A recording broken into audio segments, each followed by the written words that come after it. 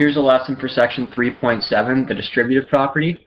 So what the distributive property is, it's a way of multiplying a monomial by a polynomial. And in this example here, I'm multiplying a monomial by a binomial, to be more specific. So when you apply the distributive property, what you're doing is you're getting rid of the brackets by multiplying everything inside the brackets by the term in front of the brackets. So if I want to do a times x plus y, and the x plus y is in brackets, I must multiply each of the terms inside the bracket, so I must multiply the x and the y by the term out front. So I need to essentially, I need to distribute this a to the x and to the y. That's why it's called the distributive property. So distribute the term in front to each of the terms on the inside.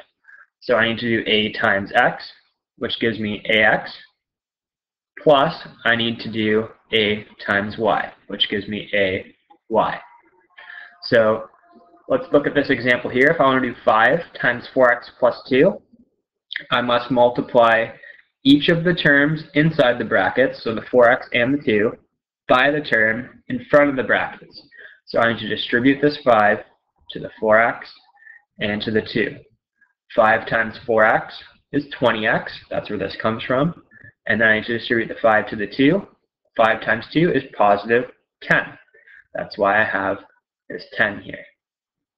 So once again, to summarize that, to apply the distributive property for this question, I had to multiply both of the terms inside the bracket by the 5 that is out front. So I distributed the 5 to both of the terms inside the brackets. Let's try a couple questions now. So if I want to do 2 times 5x plus 3, I need to multiply both of the terms inside the brackets here by the term that's out front. So I need to distribute this 2 to the 5x and the 3 to get rid of the brackets here. So 2 times 5x is 10x. 2 times 3 gives me 6. And that's fully simplified. I can't simplify that any further. Let's do the next one. So I need to mul I want to do negative 2 times 7x minus 4. I need to multiply each of the terms inside the brackets by the term out front. So distribute the negative 2 to the 7x and to the negative 4. And I put a little note here, make sure to include the negative sign when you're distributing this negative 2 here. So I multiply the 7x by negative 2, not just by 2, include that negative sign. So negative 2 times 7x gives me negative 14x. And negative 2 times negative 4, negative times negative gives me positive, positive 8. So negative 14x plus 8. I've multiplied the monomial by the binomial. The brackets are gone because I applied the distributive property. Another question. This time I'm multiplying a monomial by a trinomial. So we can use the distributive property here as well. We can use the distributive property whenever we're multiplying a monomial by any type of polynomial. So in order to do that, each of the terms inside the brackets in this case, there are three terms, so it's a trinomial. We must multiply each of these three terms by the term out front. So let's distribute this negative 3 to each of the terms inside the bracket. So negative 3 times 2x squared is negative 6. x squared. Negative 3 times negative 5x gives me positive 15x. And negative 3 times positive 4 gives me negative 12. And I can't simplify that any further because these three terms are not like terms. Let's do another question where we'll have to just apply the distributive property twice.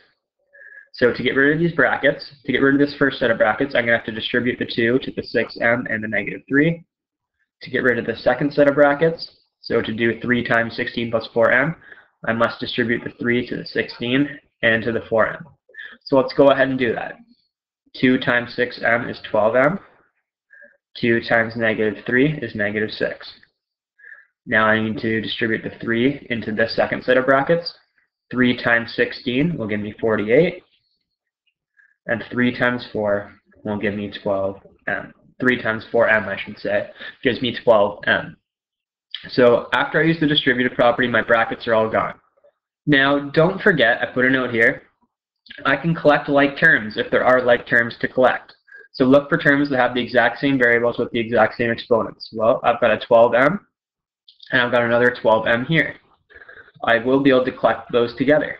I'll rewrite them in a group so I can see that. And then I have a negative 6 plus a 48. I'll be able to collect these two together as well. Constant terms are like terms as well. So 12m plus 12m, I now have 24m. Negative 6 plus 48 gives me 42. So now this is fully simplified. Don't stop right here. Make sure, make sure before um, before you're done, make sure there are no like terms you can collect. In this case, there were like terms I could collect to simplify this further. So if there are like terms, always collect them to simplify. So this is fully simplified now. 24m plus 42. So, second part. So we know in the first few questions, we were distributing constant terms. So I distributed a 2, a 3, in this case I distributed a negative 3. Now, the term in front of the brackets is going to be a variable. So in order to distribute variables, we're going to have to remember our exponent laws. So if I want to do x times x squared minus 3, follow the same rules. We're going to use the distributive property to multiply a monomial by a polynomial. Each of the terms inside the brackets needs to be multiplied by the term out front, so we need to distribute the x to the x squared and to the negative 3. x times x squared gives me x cubed. If you don't remember why that is, let's just look at this box over here. We have to remember our exponent laws. So in this case, I'm doing x times x squared. And remember, if you don't see an exponent on a variable, there's an invisible 1 there. So I have x to the 1 times x squared. When you're multiplying powers that have the same base, we can use the product rule. The product rule tells us when multiplying powers of the same base, you keep the base the same, and you add the exponents. 1 plus 2 is 3. That's why x to the 1 times x to the 2 is x to the 3. So we multiply powers of the same base, we keep the base the same, add the exponents. 1 plus 2 is 3. And then x times negative 3 is just negative 3x. Okay? So let's try a couple questions um, where there's a variable in front of the brackets. So I have x times x minus 3.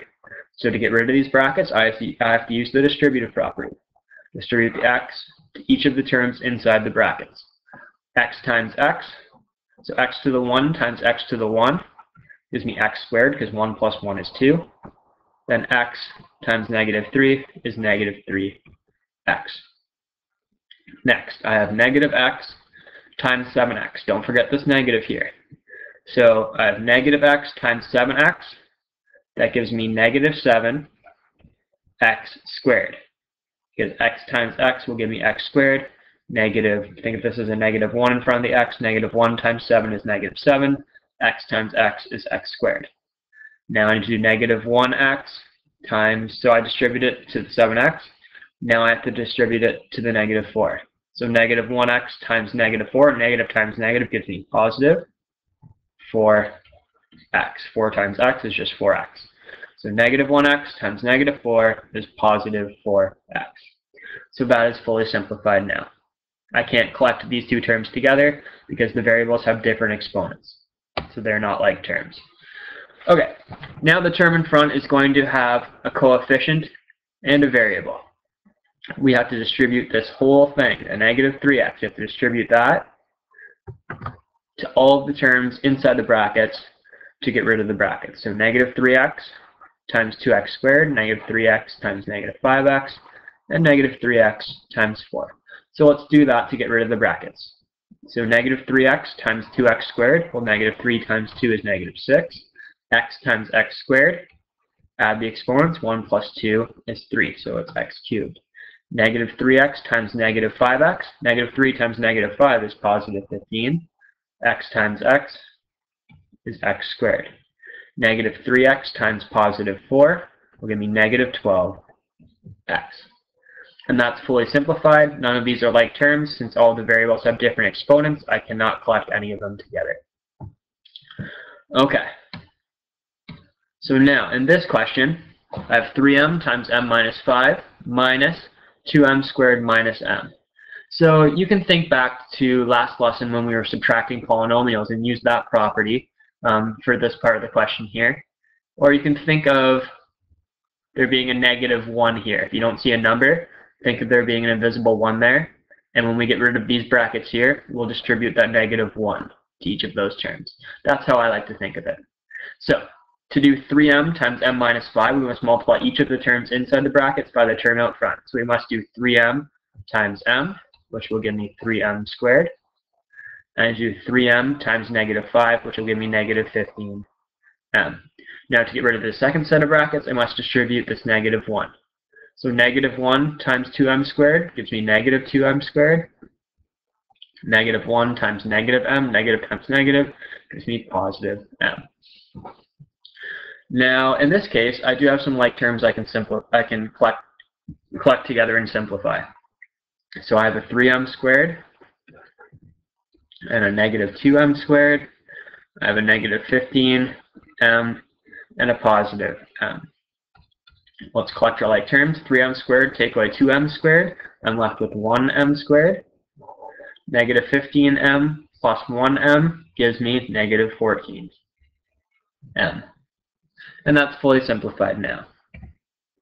Number 10. So this one's probably the trickiest because it has some fractions involved, but it's not too bad. So, the term in front of the brackets are fractions this time. Let's just follow the same properties. If I want to get rid of these brackets and simplify this question, I just need to distribute what's in front of the brackets to everything inside the brackets. So I need to distribute this half to 2w and to the negative 6. I need to distribute this negative 2 thirds to the 9w and to the negative 6. So let's go ahead and do that. So I have a half times 2w plus a half times negative 6. And then to get rid of these brackets, let's distribute the negative 2 thirds. So I have negative 2 thirds times 9w.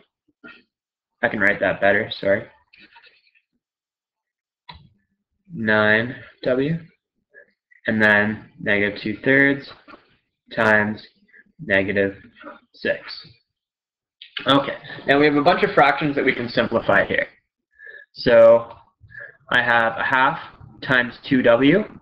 That gives me, well, I'm going to simplify this. I have a 2 divided by 2. Those cancel, so I'm just left with 1w. So I'm left with 1w, which is just w. Plus, I have a half of negative 6. Half of negative 6 is negative 3. A positive and a minus beside each other, change to a minus. Now I have negative 2 thirds times 9w. I can do some canceling here.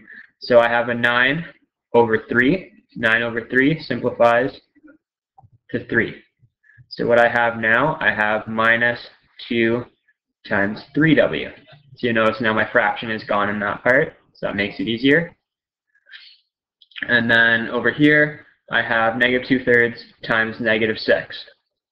Well, this will simplify negative 6 over 3 is negative 2. So I have minus 2 times negative 2. Now let's simplify this. Sorry, I'm doing different colors here. w minus 3, what's negative 2 times 3w? Negative 6w. And then I have negative 2 times negative 2 gives me positive 4. This is looking a lot easier now. So I have to collect my like terms. w minus 6w is negative 5w. Negative 3 plus 4 is positive 1. So I have negative 5w plus 1 once that is all simplified. Okay, last part of this lesson is when we have nested brackets, they're called. So when you see two sets of brackets, so when you see brackets inside of even bigger brackets. When you see a question like this, what you need to do is just start from the inside and work your way out. So let's start from the innermost set of brackets and get rid of those by using the distributive property. So to get rid of these brackets on the inside, these ones right here, I'm going to distribute this 5 to the 2k and the negative 1. I'm going to keep everything else the same. Keep that 3 the same. Keep this bracket 2 plus. Distribute the 5 to the 2k, I get 10k. Distribute the 5 to the negative 1, I get negative 5. So those innermost brackets are gone now because I distributed the term out front of the brackets to each of the terms inside the brackets. So now inside the brackets, I have 2 plus 10k minus 5. What I'm going to do now, there's a couple things we could do. Um, I'm going to simplify inside these brackets first. So I have a 2 and a negative 5. I can collect those together.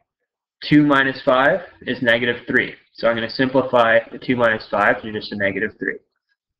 Now what I need to do to get rid of this second set of brackets, I need to distribute the term in front of the brackets to each of the terms inside the brackets. So 3 times 10k is 30k. 3 times negative 3 is negative 9. And there, that's fully simplified. That one's not too bad at all. So just remember, start from the innermost brackets, get rid of those using distributive property, and then get rid of the second set of brackets using distributive property. Okay, and just make sure you go to jensenmath.ca and get the worksheet that goes along with this to make sure you understand the material, and let me know if you have any questions.